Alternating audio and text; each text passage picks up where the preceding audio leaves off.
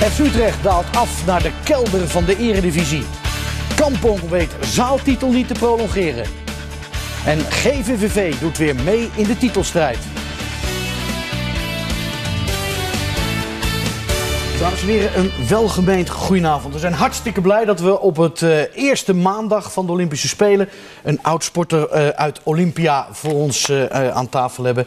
Niemand minder dan Anita van Doorn, de shorttrackster, zit bij ons aan tafel. Hoe heb je vandaag gekeken? Met zweet in je handen? Zeker zweet in mijn handen en eh, kloppend, eh, hardkloppend hartje. Ja? Ja, ik was echt zenuwachtig voor de ritten. Ja. En geen moment gedacht van wat is het toch jammer dat ik niet meer schaats? Nee, dat niet. Nee, eh, daar, ben ik, eh, daar sta ik nog steeds helemaal achter dat ik gestopt ben. Maar eh, ja, de aandacht die de sport nu krijgt en ja, als je ziet hoe ze het nu doen, dat is natuurlijk geweldig. Ja, alleen Knecht uitgeschakeld, Kerstelt uitgeschakeld. Ja.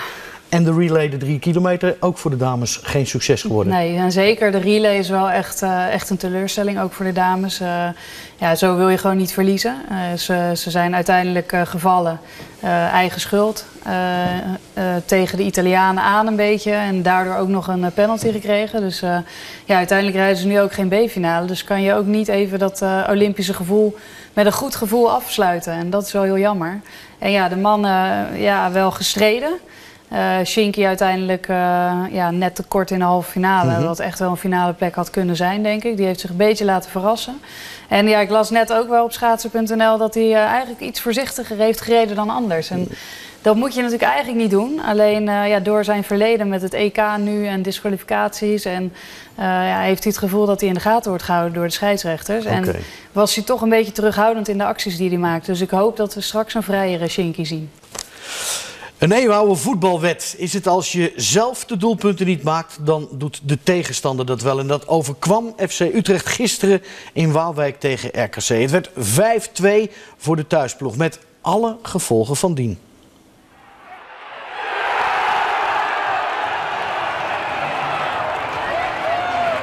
Als het 4-2 wordt, houdt de FC Utrecht-eigenaar het voor gezien. Maar het kan nog erger.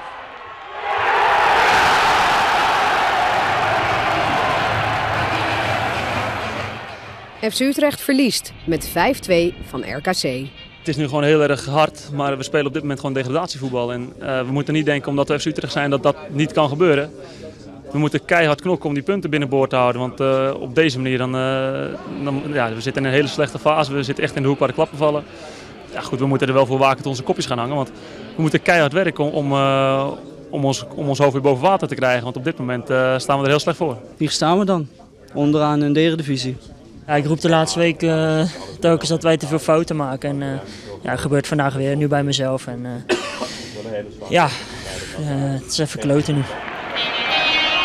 Ook excuses aan, aan alle fans die meegekomen zijn. Weet, we doen allemaal ons best. Maar momenteel is het, is gewoon niet goed genoeg. En, ja, ik, ik heb er ook geen excuses voor. Het is nu zo, we moeten ermee omgaan. Zowel de, de fans, de club als wij zelf. We moeten ons dringend herpakken. Ja, we moeten heel snel punten gaan pakken. En ja, dan eh, ja, zorgen dat we boven die streep blijven. En dat is nu, eh, nu prioriteit, denk ik. Nemen ze? Anita van Doorn, we kijken ook nog met een stiekem oog even naar de Olympische Spelen. Je zou graag in Sochi hebben gezeten, hè? Ja, absoluut. Ja. Om, om, om van commentaar te voorzien. Ja, dat, eh, dat was heel leuk geweest. Maar eh, helaas zat dat er niet in. Dan mis je het toch nog een beetje. Nou ja, tuurlijk. Eh, het is mooi om die sport gewoon live te zien. En zo'n Olympisch gevoel, dat is altijd mooi. En het, het leek me best wel leuk om als toerist, zeg maar, daar ook nog een beetje te zijn. Want ik, ja, ik heb zelf in Vancouver heb ik gewoon eigenlijk geen andere wedstrijden gezien. Nee. Dus dat leek me wel mooi om dat toch nog even mee te maken. We gaan straks met je praten over Vancouver en over alles wat er in je carrière gebeurd is. Maar eerst gaan we naar wat anders, want we gaan het hebben over zaalhockey. Kampong kreeg bij de finales van het zaalhockey versterking van twee toppers. Constantijn Jonker en Sander de Wijn. Je zou zeggen dat is onverantwoord met het WK op het veld voor de deur. Maar alles voor de liefde voor het spel en voor die van de club. Ze waren druk aan het trainen bij het Nederlands team, want in juni moet het allemaal gaan gebeuren. Het WK hockey in eigen land. Toch wilden beide internationals een finale voor het Nederlands kampioenschap zaalhockey zeker niet laten schieten. Nee, het is altijd, ik vind het sowieso een heel leuk spelletje. Eh, daarnaast werden wij van de week gebeld eh, door Pieter Bos of wij eh, graag mee wilden doen vandaag. En eh, ja, zo'n buiten, buitenkansje, de hele dag met die jongens op pad. en ergens voor spelen, ja, heel leuk. Dus dan doe ik graag mee. Het was gewoon als volg Kampong had nog wat, wat wissels nodig voor op de bank. En er werd mij gevraagd of ik mee wilde doen. Dat vond ik hartstikke leuk. Ik heb nog geen wedstrijd meegedaan van dit jaar in de zaal. Maar ik blijf het een heel leuk spelletje vinden. Dus ik wilde graag meedoen. Menig trainer vreest voor blessures als de veldtoppers mee gaan doen in de zaal. Vorig jaar brak Constantijn Jonker zijn hand en miste belangrijke wedstrijden op het veld na de winterstop. Toch zijn beide heren niet bang voor wat er mis kan gaan. Nee, ja, natuurlijk is het wel even door mijn hoofd gegaan. En uh, je hebt een risico dat er iets gebeurt. Maar ik heb alle omstandigheden die ik zelf in, in de hand had, die heb ik uh, goed benut door een goede handschoen uh, te dragen. En goed op te letten, geen rare dingen te doen, goed warm te lopen. En uh, uiteindelijk kan je ook gewoon uh, met veldhockey ook geblesseerd raken natuurlijk. Dus ik dacht, ik ga het gewoon proberen. Nee, dat, uh, dat vind ik wel meevallen. Er zijn dit jaar ook minder ongelukken gebeurd dan, dan de andere jaren. daarnaast, er kan altijd wat gebeuren. we zijn weer lekker een dagje geweest hockeyen en zo hebben we hem ook benaderd. Kampong verliest uiteindelijk met 10-4 de finale van Rotterdam. Maar de uitslag was wel geflatteerd. Nee, het ging echt twee kanten op. Het was, dan hadden zij weer even de overhand toen wij. het was heel close tot 5-4. En uh, daarna uh, gebeurde er een aantal incidenten waar, uh, waar wij vervolgens een beetje ons hoofd ook verloren. En ja, vervolgens liepen ze uit naar, naar 10-4. We hadden denk ik ook zeker de kansen om te winnen. We hebben veel corners gehad, wat kansen. Ze niet gemaakt en op domme momenten, cruciale momenten, gele en groene kaarten tegengekregen. Dus uiteindelijk terecht verloren, maar dat zeker meer ingezeten. Een zilveren medaille op het NK zaalhockey, daar worden veel jongens blij van. Maar voor deze twee Utrechters telt er maar één kleur. Nou, heel eerlijk zijn, het is niet de medaille waar ik het meest trots op zou zijn. Het mag duidelijk zijn dat de focus op het veld ligt. En uh, als ik in, uh, op het veld de finale op deze manier verlies, dan zou ik er niet zo lachend bij staan.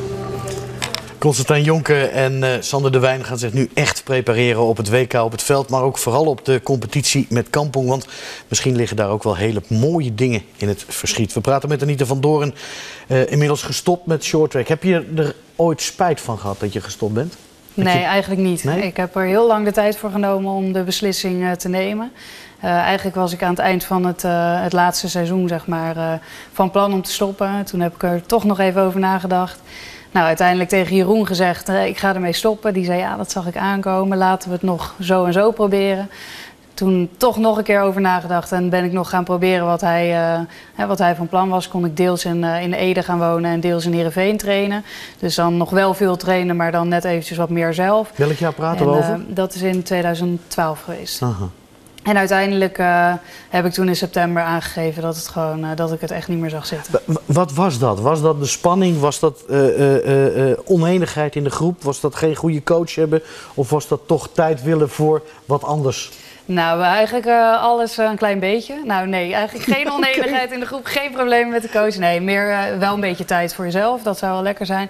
Maar het was eigenlijk vooral dat ik gewoon uh, het vuur, zeg maar, wat je echt nodig hebt als sporter, dus de, de 100% motivatie, dat miste ik gewoon. ik had vijf maanden niet op het ijs gestaan, vervolgens stap ik op het ijs.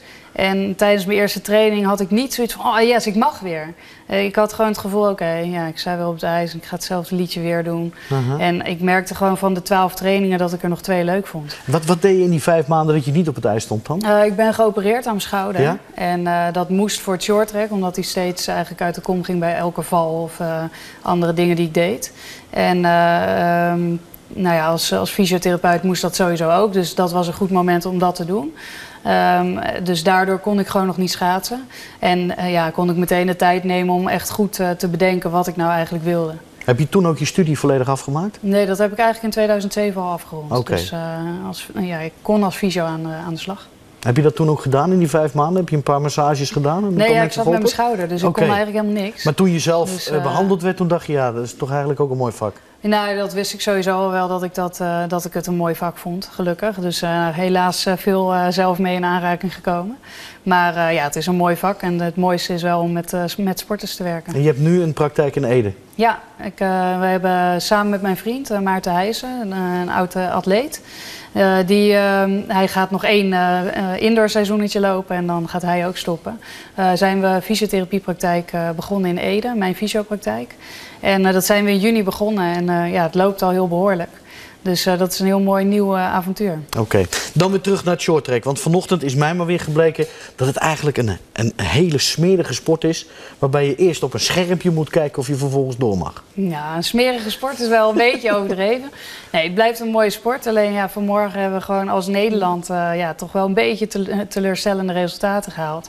En uh, ja, je hebt natuurlijk, je zit met uh, meerdere mensen in de baan, dus het is dan toch wel Ja. een beetje contactsport. Uh, dan heb je een scheidsrechter nodig en tegenwoordig zijn er gelukkig videobeelden. Vroeger was dat niet zo en dan moest je uitgaan van eh, de scheidsrechter moest het gewoon maar Het zien in een split oog, second. puur. Ja. En nu kan je terugkijken en ik denk dat het daardoor alleen maar eerlijker wordt. Ja. Be- Ben je dan in afwachting eh, ook op ons, zoals wij die videobeelden bekijken? Of heb jij van tevoren al een gevoel van, oké, die knecht die gaat daar wel door. En eh, eh, eh, bijvoorbeeld bij die meiden is het gezien. Ja, nou, meestal heb je wel een gevoel. Alleen, ja, het, het blijft subjectief. Hè? Dus ja, de ene, kant, ene keer valt het jouw kant op en de andere keer die van je tegenstander. Ja, bij de dames zag ik eigenlijk weinig vanuit de Italianen eh, wat er gebeurde. Natuurlijk zag je een armpje bewegen en een duw geven. Maar dat was nadat Sanne eigenlijk net op haar ging hangen. Mhm. Dus ja, dan zie je eigenlijk al eh, dat daar niet echt een fout zit. Dus eh, ja, dat er uiteindelijk ook een disqualificatie aan hing, dat vond ik wel erg jammer. Hoe, hoe vaak is het jou overkomen dat je die frustratie meemaakt dat ze in één keer aan een jurytafel zeggen van nou, we gaan niet verder met eh, Van Doren. Ja, hoe vaak weet ik niet, maar het is wel eens op eh, belangrijke momenten gebeurd. En ja, dan baal je ongelooflijk. En ja, je weet gewoon dat het er toch een beetje bij hoort, helaas. Ik heb het ook ooit met een EK gehad dat ik met de 1500 meter onderuit gereden werd. En ook wel een pittig geval met, eh, met drie man en ik zat in het midden. Dus, Mhm. eh, en uiteindelijk eh, werd ik van het ijs gestuurd. Dus de rit werd afgefloten en overgereden. Maar ja, ik moest er vanaf, terwijl ik uiteindelijk niet degene was die de val veroorzaakte. Zeg maar. Nu, nu dat we Sochi zien, nu dat kinderen ook weer de sport zien, merk je aan kinderen dat ze straks wel weer aan sport gaan doen en dat ze er allemaal bij willen zijn. Heb jij dat ook nog als je vandaag weer kijkt dat je denkt, ik wou dat ik in Rusland was? Nou, niet om, eh, niet om zelf weer op de baan te staan. Waarom niet? Ja, dat, dat, eh, ik heb dat afgesloten. En eh, ik weet ook gewoon, hè, als je nu gaat schaatsen, dan merk je gewoon dat je benen echt niet meer sterk genoeg zijn. Dat je echt na twee rondjes ben je al kapot. Dus wat dat betreft zou het ook niet kunnen. Maar echt helemaal niet het gevoel van, oh, dat had ik gewoon nog moeten doen. Nee. Maar die spanning. eh, Ja, die spanning voel ik wel. Ja? Ja, absoluut. Ja, dan, eh, ik word echt helemaal zenuwachtig. Al eh, een paar dagen van tevoren dacht ik al, als maandag, dan gaan eindelijk die wedstrijden beginnen.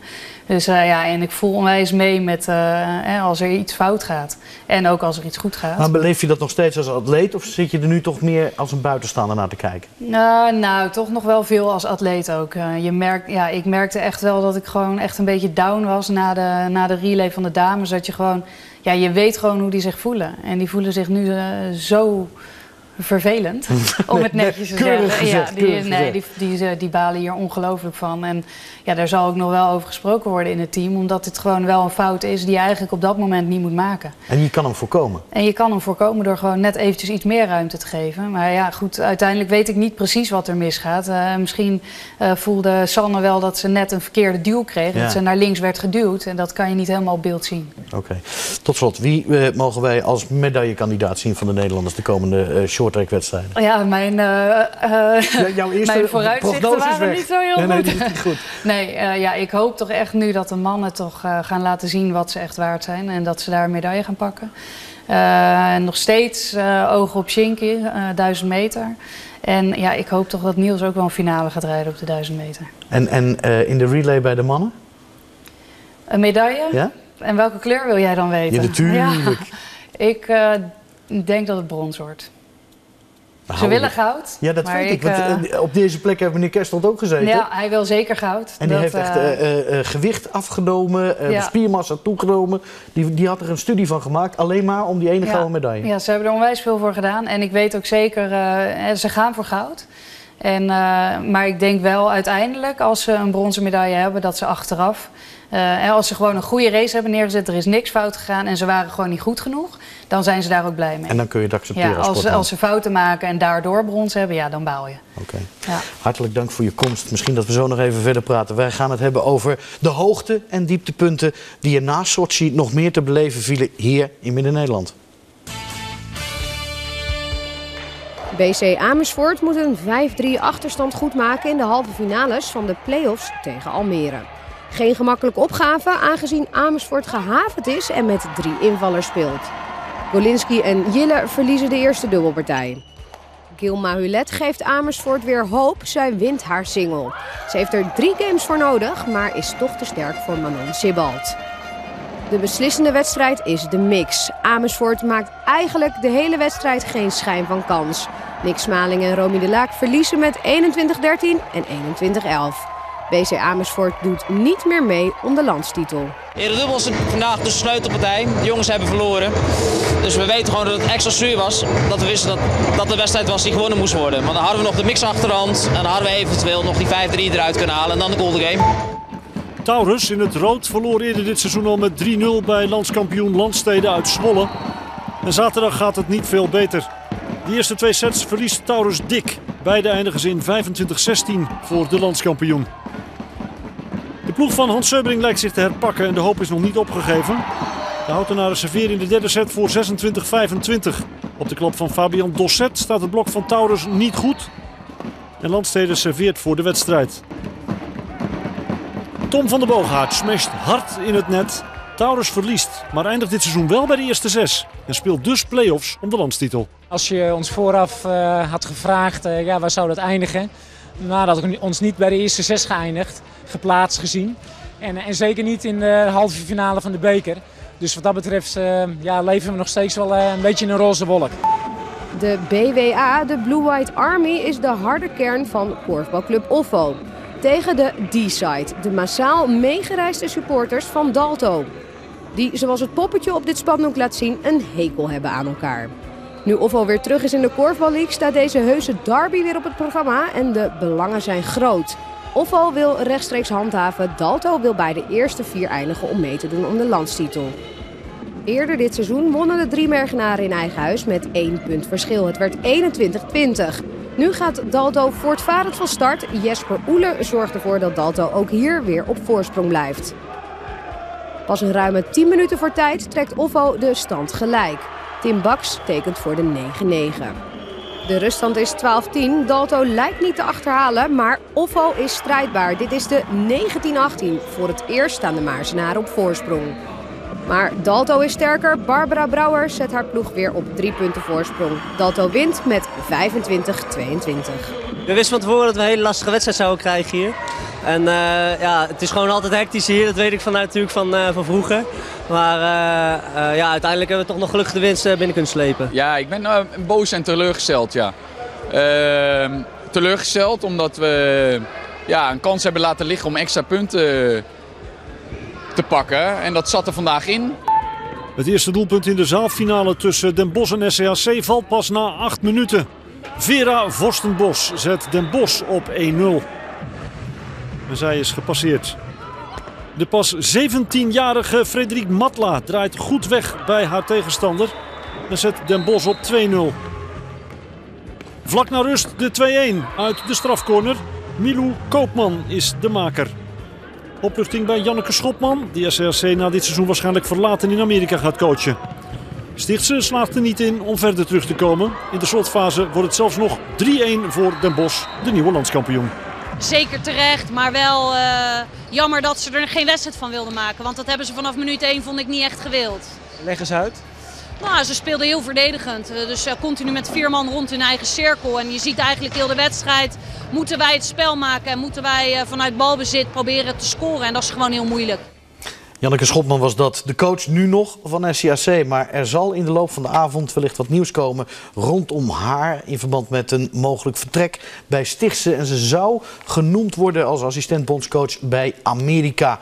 Maar daar later natuurlijk meer over. In de topklasse, want dan hebben we het over voetbal, werd Capelle Spakenburg zaterdag afgelast. Zometeen GVVV, maar eerst de mede-koploper IJsselmeervogels dat thuis speelde tegen Noordwijk. Het duel dat begon op het moment dat Sven Kramer zijn gouden race had gereden op de 5 kilometer. En toen stroomden de tribunes vol. Het feest voor de gouden plak van Sven Kramer werd in Bunschoten overschaduwd door het plotseling overlijden van oud-materiaalman Driekes van Diermen. Vandaar de rouwbanden voor IJsselmeervogels. Dat de eerste kans krijgt via Selmo Kubekovic. Tegen laagvlieger Noordwijk, nummer 14 in de topklasse. Verdediger Brokken hier gedold door Kubegovic, maar Verheid en Ahawi missen. En zo blijft het 0-0. Fauzi op slag van rust met Benny van Noord. Gonsalves, Brown, Manuputi. En dan is het 1-0 voor Noordwijk. Een forse tegenvaller voor IJsselmeervogels. Maar wel een eh, knap uitgespeelde goal van de duinbewoners. Van Toor is net te laat. Zonneveld is kansloos. Manuputi scoort. Van der Laar op Burgerhout. Burgerhout is zijn directe tegenstander kwijt, maar Verheid is net te laat voor de voorzet. Het verhaal van de wedstrijd van IJsselmeervogels. Het was allemaal steeds net niet. Is een invaller, Nabil El Gourari. En dit is een andere invaller, Mark Rutgers. En dan is het uh, vier minuten voor tijd. Toch 1-1. Mark Rutgers maakt al eerder een belangrijke goal in de slotfase van de wedstrijd tegen Helmond Sport voor de beker. Nu doet hij het weer. Tenminste, als hij zo meer volgens uitkijkt. Went en Zonneveld. Wat een kans voor Noordwijk. De Vogels willen de drie punten uiteraard wel. Ook Rutgers. Maar Ahoui kan er niet bij. Het blijft 1-1. IJsselmeervogels verspeelt twee dure punten. Je staat bovenaan en uh, de concurrenten spelen niet. Je kan een mooie slag slaan om alvast de drie punten binnen te halen. En uh, dat hebben we vandaag uh, vergeten te doen. En dat zijn hele kostbare punten geweest. En misschien zal het heel kostbaar zijn aan het einde van, van het seizoen. GVVV en Scheveningen willen allebei aanhaken bij de kopgroep. Dit is Aldogan vroeg in de wedstrijd voor de Scheveningers. Die vindt Tim Peters, de voormalige spits van IJsselmeervogels, strand op doelman Johan Jansen en op Koen Oost. De hoekschop van Martin van Eck. Doorgekopt door Van Meegtenburg, Hulsbos. En dan staat John Nieuwenburg op de lijn redding te brengen namens Scheveningen. Na rust, Pronk. Namens Scheveningen. Dit is Goeman. En dit is een goed schot. En dit is een grote kans voor Peters. En daarom is hij niet geslaagd bij IJsselmeervogels. Terscheggert, Oost, Grot. Mooie aanval van GVVV. Doelman Boks redt. Scheveningen krijgt de bal niet weg. En Martin van Eck houdt het hoofd koel. Het uitverdedigen van Scheveningen is op zijn zachtst gezegd matig. Maar Martin van Eck is eh, na de winterstop eh, op schot.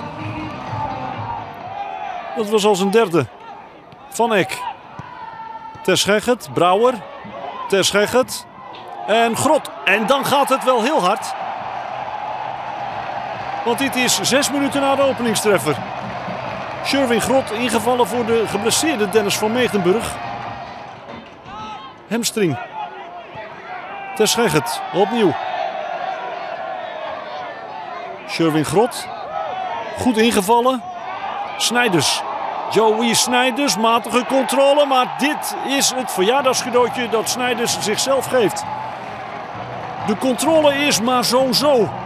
Maar hij herstelt zich goed. En maakt de 3-0. Opnieuw Snijders. Grot laat hem lopen voor Oost. En Koen Oost maakt de 4-0. Dat zijn vier doelpunten voor GVVV in een tijdbestek van 13 minuten. Als een heet mes door de boter gaat GVVV door de defensie van Scheveningen. En in de slotfase vindt Bonke Grot en heeft Simon Brouwer pech. Het blijft 4-0. Maar de grote zorg geldt misschien wel Dennis van Meegdenburg. Die gewisseld werd met een hamstringblessure. En de vraag is of hij volgende week kan spelen tegen Spakenburg. Nou, ik denk dat, het in het, uh, dat hij gewoon uh, lichtjes uh, voelde. Dat het niet helemaal jovel zat. En dat hij daarom ook redelijk snel aangaf van nou, weet niet, niet verstandig om, om hier risico in te nemen.